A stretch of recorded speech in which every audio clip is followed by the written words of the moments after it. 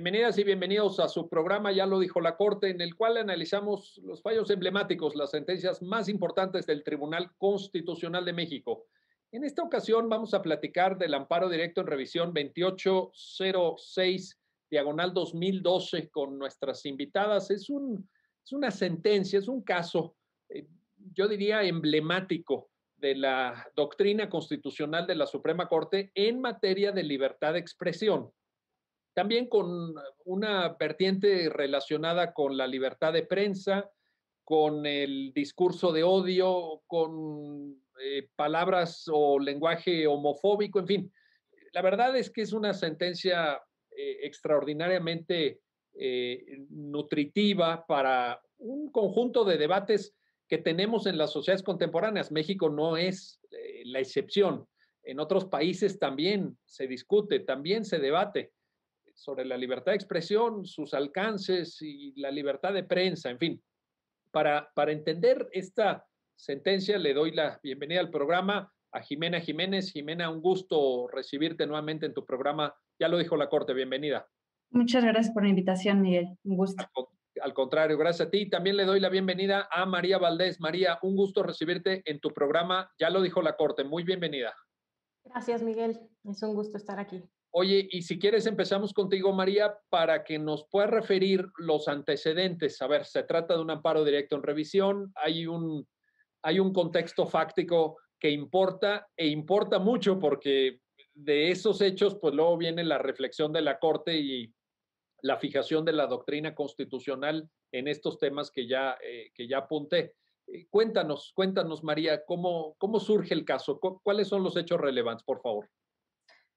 Hay una disputa editorial entre dos periódicos del Estado de Puebla, en la que eh, se, escribieron diversas columnas en las que se hacía una crítica a la línea editorial del otro periódico. En, una de estas columnas eh, se le critica a un medio de comunicación, a un periódico, por tener columnistas maricones y por em, ser puñales. Entonces, em, esto dentro de un discurso despectivo, obviamente es en sentido peyorativo y no en referencia a la preferencia sexual de los comunistas, sino se usa para denigrar. Ante esto, eh, el dueño del periódico que, que, fue afectado por esta columna promovió un juicio civil para demandar el daño moral. En primera instancia, se le condenó al otro periódico a una indemnización. En segunda instancia, se confirma y después se eh, promueve un amparo directo en el cual se ampara al demandado y después se eh, interpone un recurso de revisión ante la Suprema Corte. Muy bien, perfecto. Oye, por cierto, estaba, estaba ahorita, eh, y lo habíamos platicado antes de empezar el programa, pero lo digo, lo digo al aire, eh, pensando sobre, sobre mencionar estas palabras que citaste, pero es importantísimo que lo hayas hecho para que la gente se eh, advierta, ¿no? Cuáles son los términos que luego dan lugar a la reflexión de la Suprema Corte sobre el lenguaje homofóbico. Es ahí, María, valdría la pena decir que, bueno, estos no fueron los únicos adjetivos que los columnistas intercambiaron, porque se dijeron que eran vendidos, que eran quintacolumnistas, eh, que no tenían vergüenza, etcétera, pero específicamente en estos términos que tú señalaste, ya eh, como lo vamos a ver y lo vamos a analizar en el programa, parece que se cruza una línea, parece que esto no está dentro del ámbito mm, prudente, normal, ordinario de la crítica, que es muy bienvenida en los medios, nada más faltaba, y ellos mismos, empezó por ellos mismos, que hace mucha falta la crítica mediática, pero, pero aquí hay una línea, aquí hay una frontera que quizá no se debió de, haber, pasado. Ahora, déjame, déjame ir contigo, Jimena. Estamos, por tanto, hablando de un tema de, libertad de expresión, eh, estamos hablando de, de una afectación al derecho al honor. ¿Por dónde empezar a entender el desarrollo argumentativo de la sentencia, Jimena, por favor? Sí, por supuesto, es muy importante esto que preguntas, Miguel porque justo hay una amplia doctrina de la Suprema Corte en cuanto al derecho al honor en frente del el derecho a la libertad de expresión. Entonces, lo que empieza haciendo la sentencia es eh, mencionar el derecho al honor, que el derecho al honor viene de la dignidad humana y tiene su límite en la libertad de expresión, tiene su límite en la libertad de información y también tiene su límite en la libertad de imprenta. También cabe aclarar que es un derecho de la personalidad. O sea, e, esto quiere decir, en este sentido, que el concepto, que, el derecho o la, o la o más bien, el derecho al honor como derecho de la personalidad es el concepto que una persona tiene de sí misma, o bien el concepto que las demás personas hayan formado, dependiendo de su calidad ética y social. Así se podría definir en pocas palabras el derecho al honor y tiene diferentes dimensiones, ¿no? Tiene la, dimensión subjetiva, que es una dimensión un poco más personal e interna, y la dimensión objetiva, que es una dimensión interpersonal. Y son esas cualidades que tú tienes dentro de una misma comunidad, una misma sociedad. Y pues bueno, por otro lado, eh, se encuentra la libertad de expresión, que a veces se encuentra choque con el derecho al honor. Es, es interesante mencionarlo porque el derecho al honor encuentra sus límites en la libertad de expresión y la libertad de expresión a su vez encuentra sus límites en el derecho al honor. No son cuestiones absolutas, se tiene que analizar caso por caso, porque ha habido este, sucesos o casos o asuntos donde la Corte falla en favor del derecho al honor. O hay otros asuntos donde ese derecho al honor cede frente a la libertad de expresión. Entonces es importante tomar todas estas cuestiones fácticas que bien mencionaba María. Y pues bueno, también está obviamente la libertad de expresión, que es un derecho eh, constitucional y convencionalmente protegido. Igual tiene dos facetas, una individual, que tú puedas decir, que tú puedas eh, eh, mm, expresarte libremente y por otro lado está la dimensión social, que pues bueno, que, que, esta genera una piedra angular en las democracias como bien menciona la Corte Interamericana. Pero bueno, no me voy más allá por el momento. pues bueno, están en este caso, estos dos derechos en disputa. Oye, eh, esta mención, eh, te pregunto María, esta mención que hace Jimena del vínculo entre el derecho al honor y la dignidad humana es muy importante para, para entender, obviamente, el derecho al honor, pero particularmente para su fundamentación, porque en la sentencia se afirma que se trata de un derecho implícito, es decir, si uno busca en la Constitución mexicana un artículo, un, párrafo, una frase que nos hable del derecho al, honor, pues no lo, no lo encontramos, no, no, está ahí. Eh, por eso la mención que hace Jimena de eh, la relación con, el, con la dignidad humana. Ahora, eh, ¿cómo, ¿cómo, entender estas, estas vertientes? ¿Podríamos hablar de una proyección del derecho al honor en términos de la autoestima? ¿Otra proyección en términos de la reputación dimensiones internas, dimensiones externas. Un comentario sobre eso, María, por favor.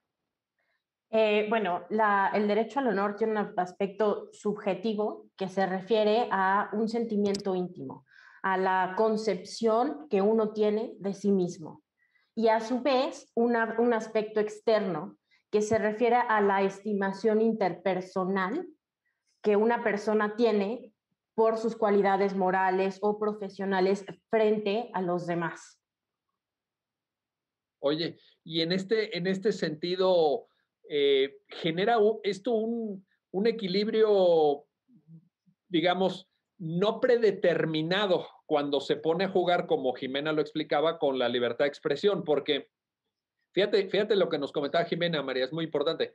Eh, no siempre va a estar clara cuál es la raya o cuál es la frontera o cuál es el peso. Lo, pongo en esos términos porque ya saben que nos, encanta el tema de la ponderación argumentativa, ¿no? que es un tema eh, que ha desarrollado mucho la Corte, por cierto, en, diversas sentencias. Eh, hay un equilibrio ahí inestable, una especie, hay quienes dicen, esto es reflejo del derecho dúctil, de aquella famosa el famoso postulado de Gustavo Zagrebelsky de la ductilidad del derecho en el modelo del Estado constitucional contemporáneo. ¿Es esto correcto, María? ¿Lo verías, lo verías de esta forma? Es un derecho indeterminado, entonces eh, su contenido depende de cada caso en concreto. Lo que la Corte explica en este asunto es que eh, hay, un, hay un sistema dual de protección. Entonces, la libertad de expresión tiene, eh, o sea, límites de crítica más amplios dependiendo de si se refiere a personas públicas. Por personas públicas o a personas que desempeñan un rol importante en la sociedad que exige que estén sujetas a un control más riguroso. Entonces, eh, también el objeto o la materia del debate es importante. Si son temas de interés público, la libertad de expresión tiene mayor peso. Entonces, estos dos factores se van a evaluar en cada caso para analizar qué tanto va, a ceder el derecho al honor en el caso en concreto. Las personas públicas tienen e, están sujetas a mayor escrutinio y por lo tanto cuando se les critica, cuando se les eh, acusa, la libertad de expresión tiende a prevalecer porque los temas que se debaten son de interés público. Entonces, no, e, este sistema dual no se basa en la persona, sino en los temas que se debaten. No es tú por ser político no tienes derecho al honor, es tú por ser político desempeñas una actividad que es importante para la sociedad y que debe estar sujeta a escrutinio. Y porque esos temas son de interés público o de interés general, se tiene que, tiene que prevalecer el debate. Oye, a ver, en este sentido, eh, Jimena, ¿qué tan relevante es eh, para entender el alcance de la sentencia que estamos analizando el hecho de que estén involucrados medios de comunicación, eh, periodistas que se eh, critican o, que tal vez van más allá de la crítica, pero el hecho de la calidad periodística entraría en esta definición que María refiere de, persona pública, sin que necesariamente lleguemos al tema del servidor público. Creo que, creo que ahí hay una, creo que hay una diferenciación importante que hacer. Una cosa es persona pública y otra cosa es servidor público. Pero el, el tema de los medios, ¿es relevante, no es relevante? ¿Cómo, cómo lo analizarías, Jimena? Eh, por supuesto que es relevante. Es muy relevante porque justo una cuestión que bien detalla la Corte en este sentido es que una de las mayores formas de, de expresión de esta libertad de expresión, valga la redundancia, es que lo puedan ejercer periodistas. Entonces, si el ejercicio de la libertad de expresión lo llevan a cabo periodistas, es que este ejercicio, este derecho se está ejercitando en su máximo nivel, en uno de sus máximos niveles. Entonces, por supuesto que es relevante que, que este tema hable sobre medios de comunicación y directores de los propios periódicos eh, que en ese momento pues estaban ahí en una, en una guerra comunicativa, por así decirlo. Entonces, totalmente relevante y también es muy relevante esa acotación que se hace. Eh, en sí, el sistema dual de protección que bien señala eh, María y bien lo desarrolla es que se tiene que atender a las actuaciones de la persona. Entonces, pues por regla general, ahí entran los servidores públicos, como bien se vio en la sentencia del bloqueo de Twitter, eh, y también por otro lado podemos ver a las personas públicas, a las personas públicas que tienen un rol relevante en la sociedad, que tienen una actividad que tiene mayor protección que una persona común y corriente de a pie. Entonces, por supuesto que tiene relevancia. Por ejemplo, digo, puede suceder este debate de, no sé, si un influencer de Instagram puede llegar a ser protegido por este sistema dual de protección, por ejemplo, ¿no? O también, por otro lado, vemos como los medios siempre están encima de los miembros de la realeza, este, de los sistemas que tienen monarquía, ¿no? Que ahí vemos cómo, cómo esto se rompe un poco porque sí están siempre al pendiente de la persona que está siendo miembro de la monarquía y no simplemente por sus actuaciones de la monarquía, sino simplemente por ser miembro de la monarquía, está a la vista de todos. En este caso, aterrizándolo a los periodistas, por supuesto que lo que hacen ellos y los medios de comunicación que utilizan para proyectar todas estas ideas son relevantes. Y entra el sistema eh, dual de protección, que también cabe aclarar que una de las consecuencias de este sistema de protección dual es que tiene la aplicación de la real malicia, o bien también llamada malicia efectiva. Y esto es bien importante porque eh, el derecho puede entrar a sancionar la expresión de ideas siempre y cuando esa información sea falsa, sea producida con, vaya, con esta malicia, con esta intención de dañar, o bueno, como bien diríamos nosotros, con esta cizaña con, esta intención de, de, hacer justamente daño, ¿no? Entonces es bien importante lo que ustedes nos comentan al respecto. Oye, e, e, en ese, ahora, cabe aclarar que el sistema dual de protección de la libertad de expresión no elimina la titularidad del derecho, ¿no? E, esto que tú decías, eh, María, de que, bueno, puede ser servidor público, puede ser persona pública, pero en todo caso lo que habrá que dilucidar es si tienes acotado ese ámbito de protección o si esta eh, capacidad de intromisión en las actividades que llevamos a cabo eh, puede ser más eh, digamos, más profunda o menos profunda, pero ciertamente la titularidad es universal, como corresponde a un derecho humano. ¿Es correcto esto, María? Sí, es correcto, porque, o sea, la persona va a tener derecho al honor, simplemente va a ser sujeta a mayor escrutinio. Lo que decía sobre medios de, perdón, lo que decía sobre medios de comunicación es, eh, eh, son líderes de opinión los medios de comunicación moldean opiniones y tienen una, un gran peso en la información que recibimos y que moldea nuestras opiniones. Por eso sí es de interés público la crítica, por ejemplo, a las líneas editoriales de uno u otro medio de comunicación, porque afecta la información que, está, que es accesible al público en general. Oye, y ahí entraría el tema también que un poco lo perfilan algunas de las columnas que son analizadas en la sentencia y que están transcritas ahí, además de las líneas editoriales de la ética periodística. Hay, hay, una, hay acusaciones directas de falta de ética de varios de los involucrados, ¿no? Sí, y ese es un tema de interés público, porque se, se están imputando en este debate periodístico pues varias cuestiones que afectan la, ética profesional, como por ejemplo si utilizan el periodismo como un medio de chantaje, como un medio de difamación y no con fines de informar a la gente, sino con, el, con, fines personales. Oh, eso, eso, evidentemente es de interés público y eso hay que discutirlo y hay que saberlo y, y bueno, habrá que ver si, si es cierto, si no es cierto, pero desde luego que tenemos la posibilidad de plantearlo, ¿no? De plantearlo. Bueno, déjenme hacer una pausa, no se vayan, regresamos enseguida para continuar en la conversación con nuestras invitadas sobre este amparo directo en revisión, el 2806 del eh, diagonal 2012. Y pues todo lo que ustedes acaban de escuchar sobre el derecho al honor, la libertad de expresión, la libertad de prensa y también un tema sobre el que todavía no entramos, pero regresando lo haremos sobre el discurso de odio, aquello que no está protegido por la Constitución. Regresamos enseguida.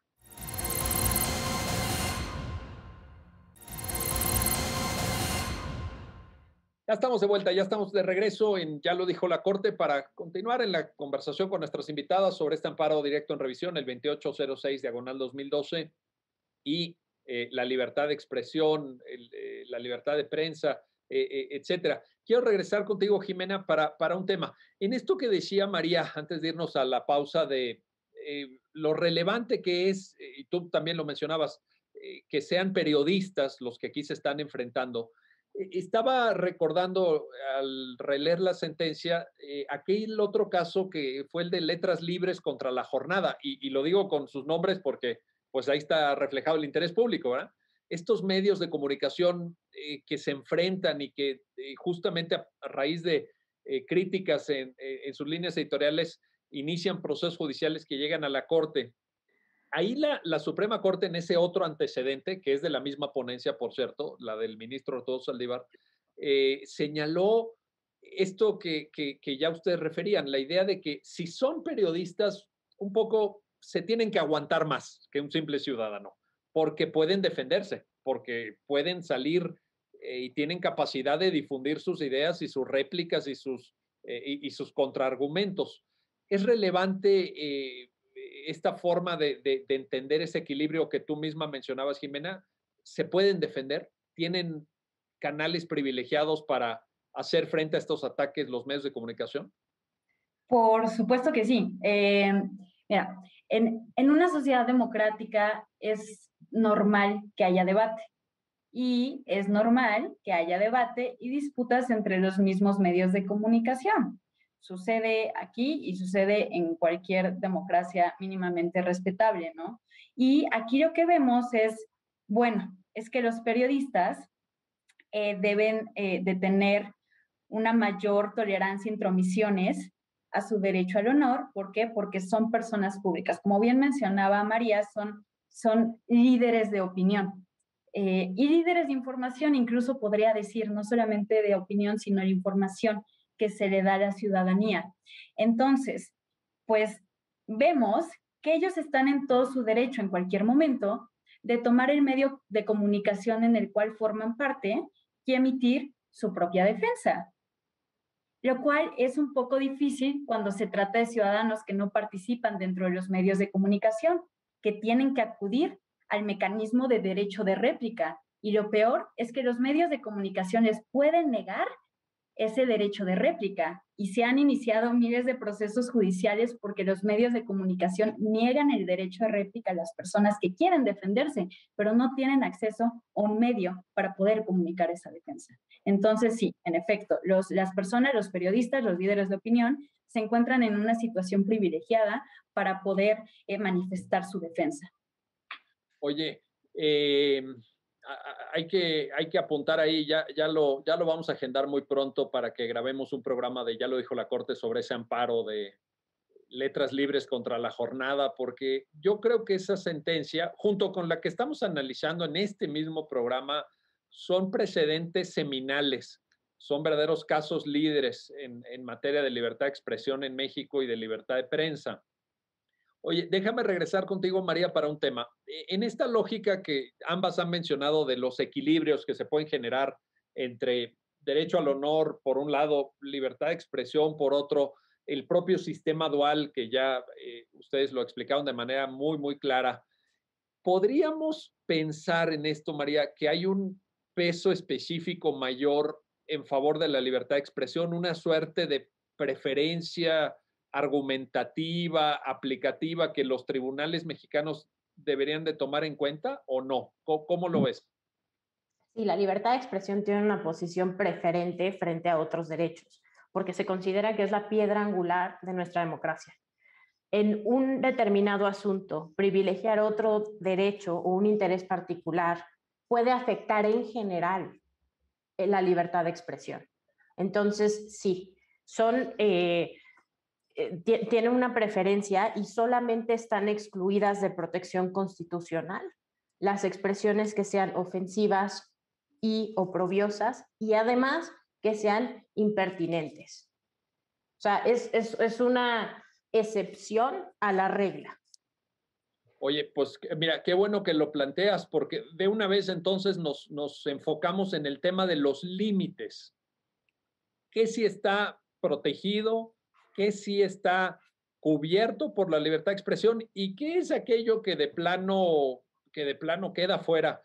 A ver, Jimena, eh, te pregunto, insultos, lenguaje de odio, eh, comentarios impertinentes, eh, que, por cierto, bueno, ahí, ahí si quieren lo, lo, apuntamos esto para que yo les propongo que incluso que lo, que lo abramos a debate sobre la pertinencia o impertinencia, que me parece que quizá iría más en la línea del derecho de réplica, eh, más que en la libertad de expresión. Pero bueno, eh, si quieren ahí lo, lo, apuntamos. Pero a ver, insultos, lenguaje, etcétera. ¿Está protegido o no está protegido?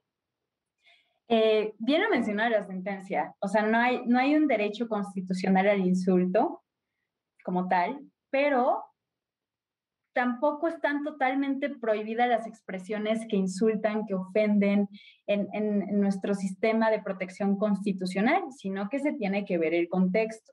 Por ejemplo, lo que sucedió aquí, ah, también el lenguaje de odio, obviamente, discurso de odio, creo que ese sí está prohibido en su totalidad, pero igual hay que atender, como siempre, a los hechos fácticos, ¿no? Pero, pero como sucede en el caso, mencionan eh, pues es, es, es una pelea, es una batalla entre dos medios de comunicación y los dos están en su derecho de poner en duda la calidad periodística, la pericia eh, de su trabajo, ¿no? Pero aquí lo que dicen es como, ok, puedes criticar al medio contrario, pero ¿qué tiene que ver, que, o sea, ¿en, en, qué tiene que ver que estés criticando el trabajo de alguien con decirle una, una expresión homofóbica en sentido peyorativo? O sea, ¿para qué va esa expresión? no va a ningún lado y aparte genera un discurso discriminatorio, no solo discurso discriminatorio, incluso podría rayar en el discurso de odio. Entonces, vaya, eso no va a estar protegido. Pero, por ejemplo, si mi vecino me llega y me dice, eres una marimacha, pues realmente tampoco voy a solicitar la protección de la justicia federal porque mi vecino me dijo marimacha, por ejemplo, ¿no? Entonces, pues yo creo que tiene que ver con los supuestos fácticos de cada, de cada caso, pero en general eh, se podrían estar prohibiendo estos, este lenguaje que, es ofensivo, que es eh, eh, oprobioso o es este, impertinente en un principio. Oye, y en este sentido, María, a ver, la, la calificación de un término, de una palabra como insulto, me parece que es lo que excluye eh, ahí incluso, obviamente esto está sujeto a debate y es, y es algo que muchas democracias todavía no han delineado con claridad, pero e, el, el carácter de insulto así directo, eh, eh, comprensible por todos, sí excluiría una, una, cobertura de la libertad de expresión más allá del, del contexto o no? ¿Cómo, ¿Cómo lo es? No, yo creo que nadie va a invocar libertad de expresión cuando su discurso esté reflejando la opinión de una mayoría, una opinión que sea bienvenida, una opinión que esté estructurada en unos términos que sean, eh, no sé, es difícil como calificar, pero en, en, términos que no resulten ofensivos para nadie, que nadie se siente indignado, bla, bla, bla. La libertad de expresión cobra vida cuando el discurso que estás emitiendo no es bien recibido, ya sea porque es una crítica dura en la que estás usando términos que tratan de llamar la atención o términos que tratan de hacer escándalo, causar incitación, indignar. Eso es parte de la libertad de expresión. Si la libertad de expresión protege tus ideas y tus opiniones, también protege la forma en la que las emites. La libertad de expresión no siempre se va a desarrollar en los términos eh, ideales Muchas veces eh, la forma en la que se emite un discurso implica indignación, enojo, eh, hartazgo, y eso también lo protege la libertad de expresión. Pero en este caso, había expresiones que se consideraron discurso homofóbico, y eso no es lo mismo. No es lo mismo insultar a alguien y decirle, eres un corrupto, a decirle, eres usar, las expresiones que se usaron en esta nota. Porque en esta nota la ofensa no era, o sea, e, era totalmente impertinente. La calidad de homosexual de una persona no tiene nada que ver con su labor periodística y definitivamente fue usada con una intención peyorativa en un contexto de un país donde hay un, eh, eh, o sea, el lenguaje crea imágenes, el lenguaje representa realidades, el lenguaje moldea nuestra sociedad.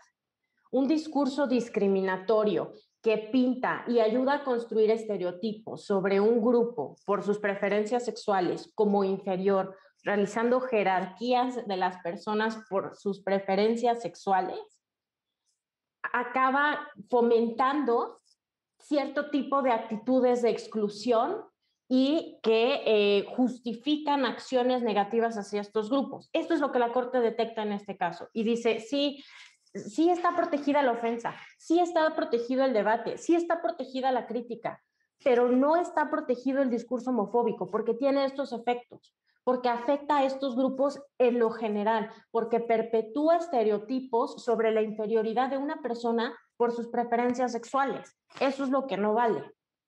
Y es un, un, un, espacio muy reducido de todo el discurso que nos pueda resultar desagradable. Oye, ahora, ahora que haces esta muy, muy clara diferencia, estaba recordando aquella famosa frase de New York Times versus Sullivan. ¿Se acuerdan ustedes de esa sentencia de la Suprema Corte de Estados Unidos de los años 60, donde el ponente, que fue William Brennan Jr., eh, hablaba de la necesidad de un debate eh, decía robusto, abierto y desinhibido. Esa fórmula sacramental que tantas veces hemos citado, eh, creo que contribuye a, marcar esa diferencia. Evidentemente la libertad de expresión puede ser ruda, ¿no?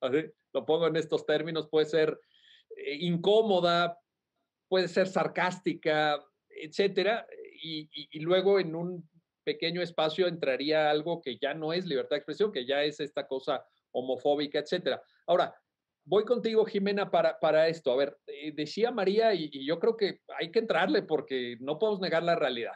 El contexto importa, pero ¿en qué país? ¿En qué país? Eh, yo, por ejemplo, todos hemos visto expresiones en los estadios de fútbol homofóbicas. Y, hay veces que se genera un efecto contagio en, la, en esa masa, ¿no?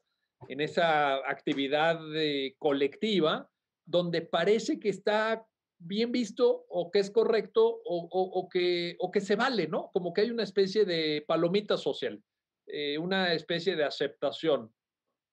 ¿Qué pasa con la cultura? Por ejemplo, Jimena, si, si alguien argumentara, oye, es que esto es cultural de México, es cultural y llegan y te dicen esto que, que, que bueno, ya lo, lo, repito porque María ya lo citó y está en la sentencia, es un documento público. Puñal, maricón, o sea, todos esos eh, adjetivos homofóbicos. ¿La cultura sería una disculpa? Eh, ¿Sería un atenuante? ¿Cómo, ¿Cómo entender esta parte, Jimena? Eh, no, no es, bueno, a mi forma de ver las cosas, no es ningún atenuante y no es ninguna permisión. En efecto, son cuestiones culturales, ¿no? Y como siempre, toda cultura debe entenderse, debe respetarse, pero también debe llamar la atención que la cultura, sobre todo mexicana, es una cultura sumamente homofóbica, sumamente machista, donde la raíz de estos insultos homofóbicos también tienen una raíz en el machismo. ¿Por qué? Porque intentan ridiculizar la feminidad en los hombres, ¿no? Por ejemplo, la palabra maricón eh, viene de marica y marica es una forma de decirle a las mujeres que se llaman María, por ejemplo, ¿no? Marica o mariquita. Entonces, al decirle a alguien maricón es relacionarlo con la feminidad. Y puñal, por otro lado, es otra forma de decirle a alguien que es, este, pues justo lo que dicen en los, en los estadios, ¿no? Entonces, eh, pues vemos cómo esto viene de una cultura donde tenemos muy arraigado el machismo, muy arraigada la homofobia y pues por el simple hecho de que existan no significa que una corte tenga que convalidar esas violaciones a derechos humanos, esas violaciones a la dignidad eh, y a la igualdad basadas en que así son las cosas, ¿no? Entonces, a mí me parecería un argumento muy pobre y muy chafa escudarse a través de la cultura para seguir haciendo esto. Tan es así que la FIFA eh, tiene sanciones para, para la selección mexicana, si no es que sus aficionados se cuadran a las políticas que ellos han dicho que no pueden decir ciertas palabras en el estadio. Y a ver, quiero aclarar aquí también una cosa, que justo leía varias columnas criticando la sentencia, diciendo, no es que la Corte ya sacó del lenguaje del idioma español estas palabras. No, no, no, no, o sea, no, no, no se sacan del lenguaje, solamente la Corte dice, oigan, aguas con estas palabras porque tienen este sentido, porque generan este discurso discriminatorio que puede generar a su vez discurso de odio. Tengan cuidado con estas palabras. Eh, para este caso no se necesitaban expresar, entonces aquí la libertad de expresión no está protegida. Y pues bueno, también por otro lado, si se dijera que se expulsa de las palabras solamente con sentencias de la corte, pues sería totalmente contradictorio, porque pues mucho que sucede en la cultura queer y en, otros, este, en otras culturas de, de poblaciones vulneradas es que se reapropian de ese lenguaje que una vez los insultó. Por ejemplo, en Estados Unidos la palabra nigger este, pues ellos lo utilizan, se utilizó para criticarlos, se utilizó para, para denostarlos y ahora ellos mismos utilizan esa palabra. Lo podemos ver también con la cultura queer, por ejemplo, las mujeres lesbianas en algún momento se les decía tortilleras como insulto, pero ahora pues ellas mismas se dicen tortilleras. Y lo mismo sucede con, con las personas homosexuales, se reapropian de ese lenguaje. Entonces, pues decir que se prohíbe es, es, es, no, es verdad y, y, tampoco genera estos impactos de, de, eliminar palabras de nuestro lenguaje, sino con qué finalidad se está diciendo esa palabra, con qué mensaje lo estás dando. Para, para reapropiarte, para decirlo al ahí se va, para decirlo como broma, para decirlo como insulto. Entonces, pues, de nuevo, es totalmente fáctico. Oye, y, en este sentido, se podría generar, fíjate que esta crítica que mencionas, eh, Jimena, yo también ya la había escuchado a la sentencia, pero intentando ponernos también un poco en, la postura de quienes no están de acuerdo y obviamente están más que en su derecho a, disentir de la, sentencia, podría generar en la práctica, María, una especie de zona de indefinición eh, por cuanto a qué palabras o qué conceptos sí están permitidos y cuáles no, porque efectivamente podría uno pensar en una pluralidad de expresiones que tuvieran esa característica peyorativa, eh, que conformaran un lenguaje de odio, que fueran ah, discriminatorias, pero que fueran no tan abiertamente insultos, pues, como en el caso que nos ocupa en la sentencia. Podría generar una, por ejemplo, hay críticos que dicen, aquí está abriendo la puerta la Suprema Corte a una suerte de pendiente resbaladiza donde sabemos dónde empezamos, pero no dónde terminamos. Eh, ¿Puede haber esa zona gris, eh, María?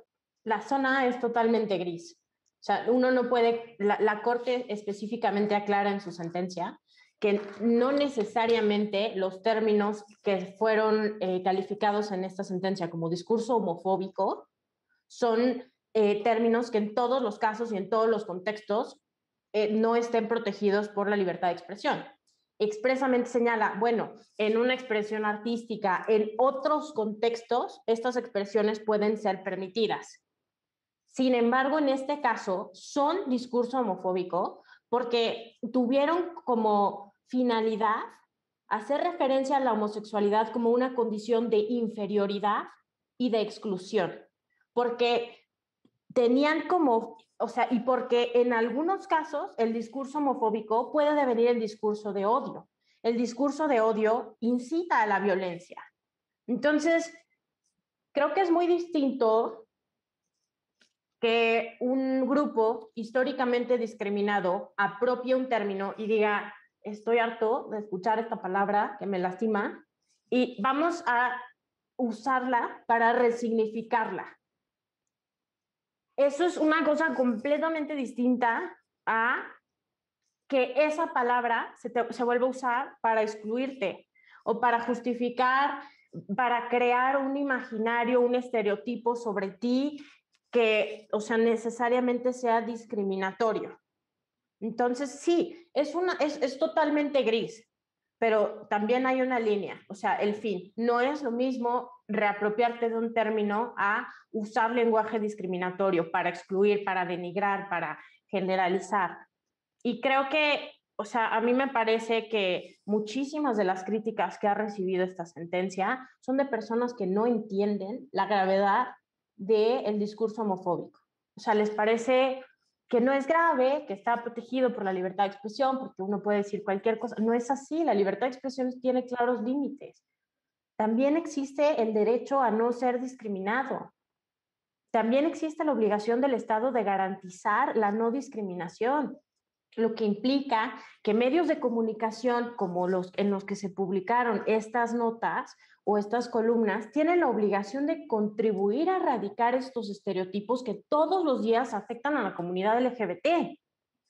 No puede ser que no, o sea, que no haya o sea, un límite a la libertad de expresión para intentar destruir estos discursos que tanto daño ocasionan.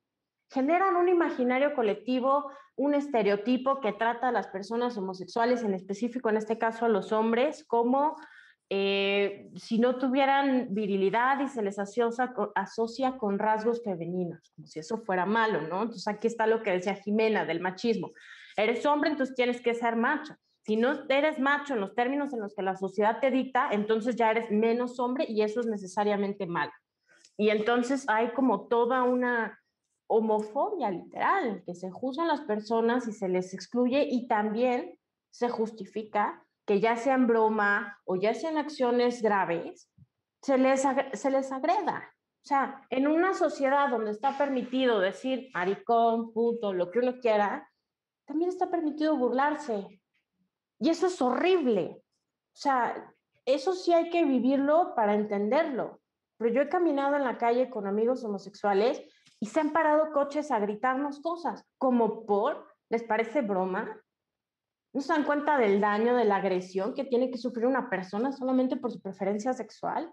Entonces creo que muchos de, estos, de estas críticas hay que filtrarlas, porque simplemente se basan en un menosprecio al discurso de la igualdad. Ahí está, ahí está el reto y es un reto que va más allá incluso que la propia, que la propia sentencia. Bueno, vamos a hacer una pausa, no se vayan, regresamos enseguida para continuar en esta conversación sobre el amparo directo en revisión 2806 diagonal 2012 con nuestras invitadas y estos límites que debe tener la libertad de expresión cuando se pone en juego el derecho al honor o ahora, como muy bien lo explica María, eh, el derecho a la no discriminación, sobre el que tanto, tanto nos falta todavía en México. Regresamos enseguida.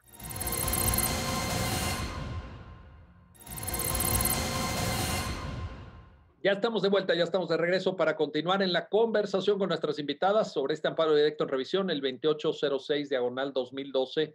Y quiero ahora eh, regresar contigo, Jimena, para eh, dejar claro esto que, que, apuntaba María y que quizá valga la pena destacarlo. El, el criterio de la Corte se produce a raíz de una demanda civil, como nos lo contaba al principio del programa María, por daño moral eh, por una presunta afectación, así lo estima la parte actora, de su derecho al honor, pero no sería lo mismo si evidentemente se tratara de estimar expresiones de carácter artístico. Por ejemplo, estoy pensando en una novela, ¿no?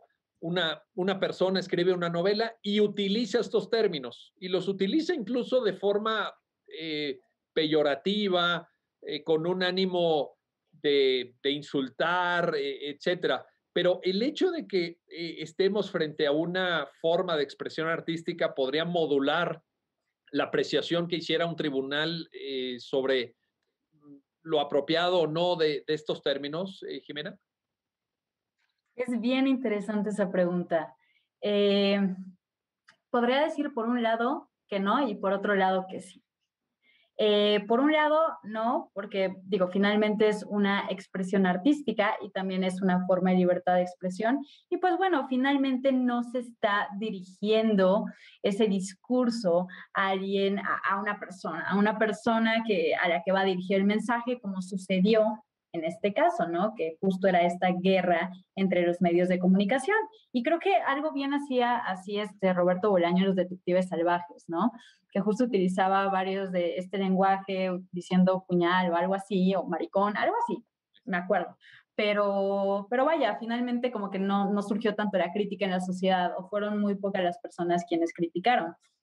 Pero, por otro lado, también se me viene a la mente que que sí podría ser cuestión de control este, constitucional, eh, como sucedió en aquel eh, caso del poema del, poeta maldito, ¿no?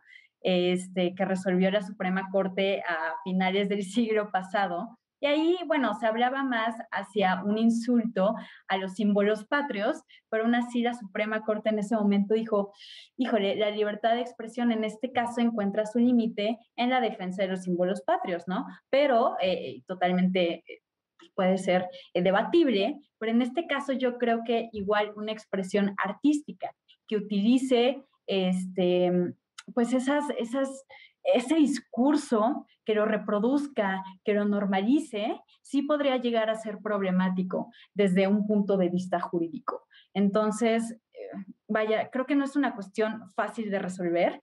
Eh, yo creo que podría estar en una línea dependiendo del mensaje, dependiendo de, la narrativa que se use en ese, en ese caso, pero es una gran pregunta.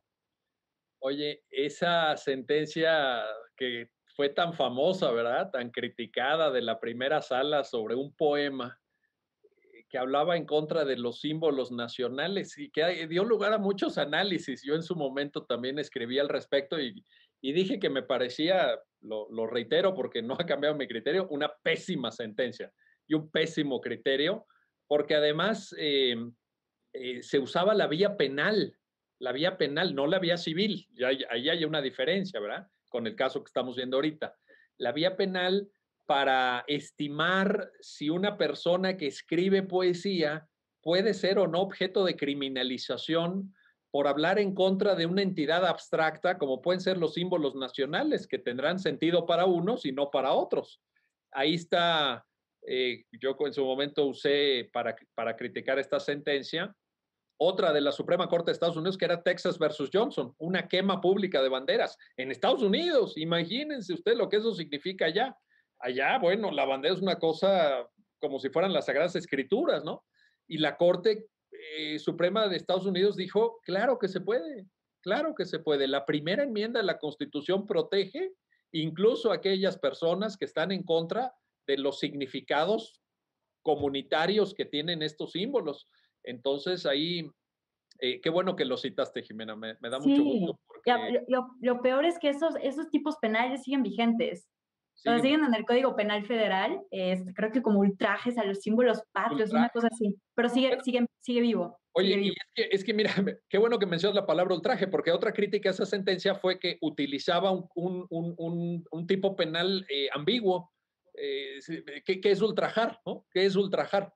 Eh, para efectos penales, en, materia civil y de responsabilidad extracontractual lo podremos discutir, pero penalmente, en fin, ahí está, ahí está la cuestión. Eh, tantos años después, fíjate, y nos seguimos acordando, ¿verdad? Tantos años, ya, ya vamos para más de dos décadas de esa sentencia y nos seguimos acordando. Oye, quiero regresar contigo, María, para una cuestión.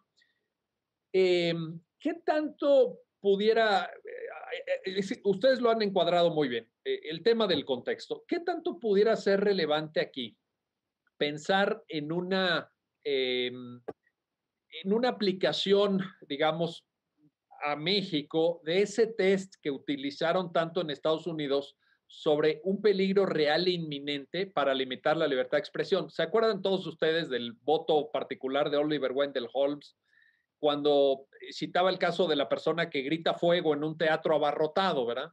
Y, eso eh, provoca que la gente se espante, que, la gente salga corriendo, que se pueda lesionar. El peligro real e inminente, eh, ¿lo pondrías como un elemento, María, para entender bien cuándo sí y cuándo no se pueden proferir ciertas expresiones? Yo creo que en este caso la Corte excluye de protección al discurso homofóbico en su totalidad. O sea, eh, es muy clara en que este tipo de discurso es un tipo de discurso que se va a considerar necesariamente oprobioso y entonces, eh, en este caso, además se añade que no era innecesario y entonces se excluye de protección. Eh, no creo que el tema de que, este test sea aplicable, porque entonces tendríamos que ver si verdaderamente estás incitando al odio, bla, bla. Aquí la Corte en relación con el discurso de odio lo único que dice es que el discurso homofóbico en ciertos casos puede constituir discurso de odio. Es el discurso de odio al que sí dirías, ok, este, aquí sí hay un peligro, aquí sí puede, ahí sí tendría como eh, se actualizaría, creo que con mayor importancia este test. Pero aquí la Corte manda, creo que un mensaje muy claro en relación a que las manifestaciones homofóbicas eh, no están protegidas en este contexto. Bajo, bajo, ningún, bajo ningún supuesto. Con independencia de que eh, puedan constituir un riesgo, no. O sea, aquí las estamos analizando versus el derecho al honor. Entonces, eh, el daño sería al honor y, es otro contexto. Oye, y en esto, ahora, eh, fíjate, aquí acabas de dar en el clavo de un tema que, un poco empata con lo que le preguntaba a Jimena de, de la libertad artística, porque el derecho al honor, pues obviamente es imputable en cuanto a su titularidad a un sujeto específico, en este caso la persona que como parte actora promueve el juicio civil de, de daño moral. Eh, pero en, la libertad artística esto quizá se dé de una forma más, más general, más abstracta. Ahí, ahí tendríamos tal vez que hacer una valoración diferente. Y, y, me, digo, ya no, ya no te lo planteé, Jimena, pero me estaba acordando, eh, para hacerte la pregunta, de esa famosa novela de Vladimir Nabokov, eh, que ustedes seguramente conocen, que se llama Lolita, donde refleja una relación de pederastia, por ejemplo, ¿no? que es un delito, es un delito, y sin embargo, cuando, cuando se ha intentado como censurar esa expresión artística, la mayor parte de las personas pensamos que, eso debería de permanecer en el reino de la imaginación y que mientras esté ahí y no lo quiera traducir a la realidad una persona teniendo relaciones sexuales con menores de edad, no, no, no, no habría problema en expresarlo artísticamente.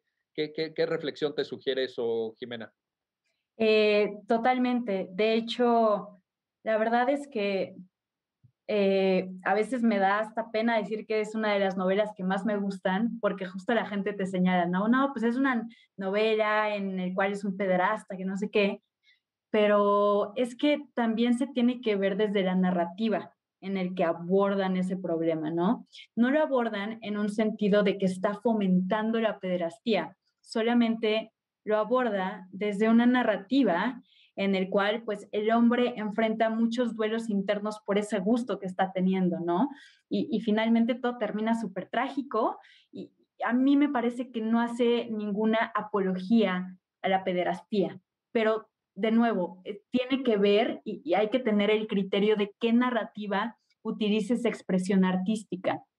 Por otro lado, como bien mencionaba María, yo creo que si una expresión artística utiliza un discurso de odio totalmente abierto, que es muy diferente al discurso discriminatorio, una cosa es el discurso discriminatorio, ¿no? Que normalmente va encaminada a hacer menos a personas que están dentro de las categorías sospechosas, este, a, denostar a esas personas, ¿no? Pero por otro lado, el discurso, este, el discurso discriminatorio puede llegar a ser discurso de odio cuando ya incita a ese odio, ya incita acciones de desaprobación, ¿no? Lo vimos con Estados Unidos, con una política migrante, por ejemplo, o lo podemos ver también en nuestro país hacia personas homosexuales, que es lo que trata este tema. Entonces, sí es muy distinto analizar qué palabras se utilizan, qué narrativas, sobre todo cuando es discurso de odio. O sea, sí hay que tener en cuenta varios elementos para determinar qué es discurso de odio. Incluso, a mi parecer, cuando se trata de una expresión artística literaria, porque se tiene que ver el contexto, el clima social en el cual se está viviendo. Por lo menos en este caso puedo decir, el clima social en México es de una violencia hacia las personas de, de la comunidad LGBT totalmente dañina, ¿no? Y sobre todo hay estudios que esta violencia aumentado en el contexto de la pandemia. Por otro lado, también está el alcance, ¿no? el micrófono de la persona que emite ese mensaje hasta dónde llega. Eh, también como las probabilidades en que ese discurso derive de un daño. Por ejemplo, si, si a alguien le llega ese discurso y al día siguiente se dice odio a todos los gays y me voy a golpear al primer gay que vea en la calle, pues por supuesto va a ser un discurso de odio. También pues quién lo dice, ¿no? Si es un jefe de Estado, si es un escritor, si somos nosotros ahorita hablando en un programa, eh, también la intención, el daño, el daño, la intención de hacer daño y también el contenido del mensaje. Entonces hay que tomar en cuenta todas estas particularidades para saber si algo está protegido o no en la libertad de expresión o en cambio si es un discurso de odio que a mi parecer hay una prohibición absoluta.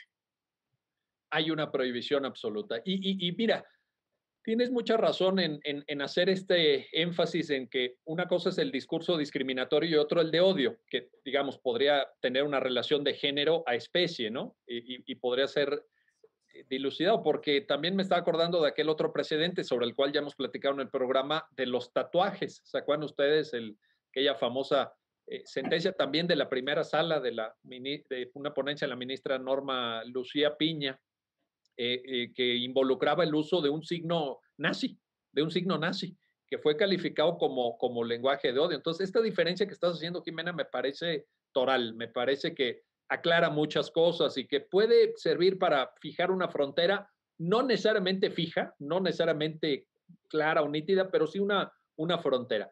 Estamos concluyendo el programa, María, nos queda un minuto, pero no quiero eh, despedirla sin, sin preguntarte, hay muchas críticas a esta sentencia, pero también me parece que refleja una empatía, una capacidad eh, de, comprensión de las diferencias y de lo que representa vivir en una sociedad plural eh, que vale la pena resaltar, que vale la pena recordar. Coméntanos algo al respecto a, a manera de conclusión, María, si fueras tan amable. Creo que es importante tomar en consideración, como habíamos mencionado hace rato, que esta sentencia se dicta después de un amparo directo en el que se privilegia la libertad de expresión. porque en ese otro asunto eran dos medios de comunicación haciendo críticas a la editorial del otro. Entonces se determinó que eh, es, el derecho al honor se encontraba atenuado porque eran, persona, eran, eran medios de comunicación y además eh, estaban debatiendo sobre temas de interés público, que es la información que se divulga en ellos, la objetividad de la información en ese caso en específico. Entonces, llega este caso y parece que la Corte está privilegiando el derecho a la libertad de expresión y lo, hacemos, ¿no? O sea, en esta sentencia también se hace énfasis en la importancia de la libertad de expresión, en que es, es un derecho preferente, es la piedra angular de la democracia, pero también cede frente al derecho al honor. Y ese es el debate, libertad de expresión, derecho al honor. No estamos en otro debate. Y en específico, las, o sea, la Corte lo único que analiza en esta, de estos artículos son dos expresiones, maricón y puñal. Y dice, estas dos expresiones, sea, no analiza más del debate, estas dos expresiones son discurso homofóbico. Y ahí lo que me encanta de la sentencia es el reconocimiento que hace al, al, al, lenguaje, a la importancia del lenguaje, en cómo el lenguaje moldea nuestras ideas, nuestra cultura y cómo eh, construye estereotipos y cómo los estereotipos forman imaginarios colectivos, despectivos respecto a ciertos grupos que legitiman la violencia en su contra o la discriminación. Y entonces me encanta cómo la Corte en esta sentencia le da vida y le da valor a esta situación de discriminación que viven muchísimos grupos LGBT. Y dice, esto no se vale, esto está excluido, ustedes están protegidos, nosotros somos sensibles a lo que ustedes viven diario. No nos importa más de este discurso, no, eh, fue, no era pertinente, no era necesario, vaya. Pues buenísimo el mensaje, buenísimo el mensaje con el que cerramos el programa. Eh, yo les quiero dar las gracias, Jimena Jiménez, María Valdés, por habernos acompañado y por estos eh, comentarios que no solamente explican las sentencias, sino que demuestran también la capacidad de defender em, ideas en favor de los derechos humanos que tienen dos jóvenes juristas tan brillantes como ustedes. Gracias, mil, mil gracias y gracias a usted que hace posible su programa, ya lo dijo la Corte, en el cual analizamos los fallos emblemáticos las sentencias más importantes del Tribunal Constitucional de México. Hasta pronto.